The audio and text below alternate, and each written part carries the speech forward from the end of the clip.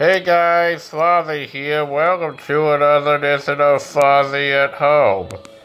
One of my favorite advertise founders slash advertisers is the one, the only Colonel Sanders. You may not know though a whole lot about him, like though, in addition to his cool beard, goofy commercials, and of course delicious chicken. But what you do, but but his, but there's a lot, definitely a lot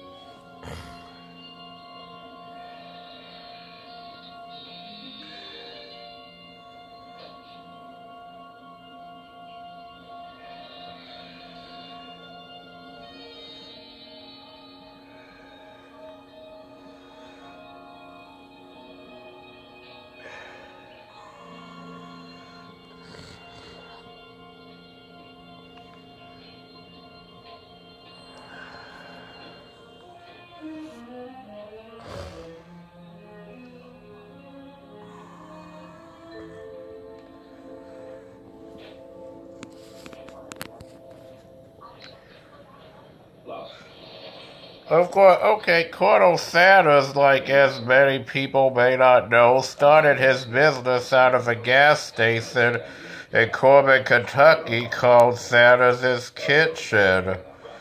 He ended up like he ended up doing that and expanding it all the way to be the place that we know and love today.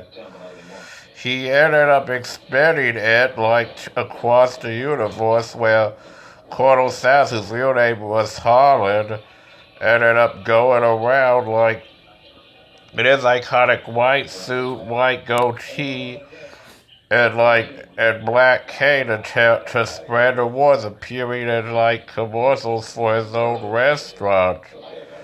He did it.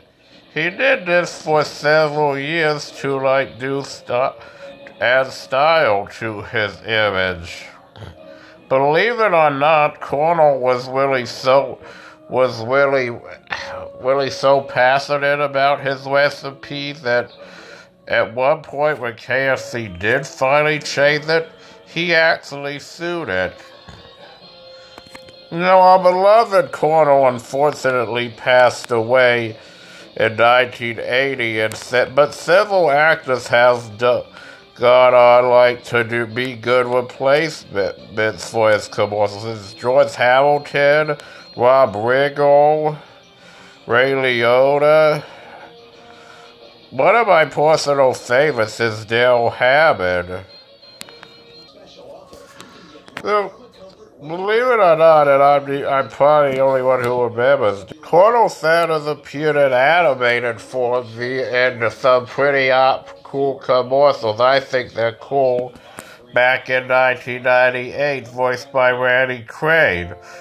But unfortunately, Randy Crane, who basically turned into commercial Sanders, is now is now kept away and can't do do them. So, them. The man who we often always see on the buckets is uh, also had a Christmas album out called Christmas with the Colonel. At this at this point in time, I haven't listened to it, so I can't tell you whether it's good or not. Colonel Sanders also has like a call a tuition program that started with the ride he gave somebody on the side of the road of the road every year. He was hailed as the original celebrity chef, and for good reason. Now, in con- in the end, Colonel Sanders may may be the guy we'll only, will only remember on his buckets and signs, but I definitely think his story's pretty amazing and leaves a good taste in our mouths. So, thank you guys so much for watching. Uh, Arrivederci.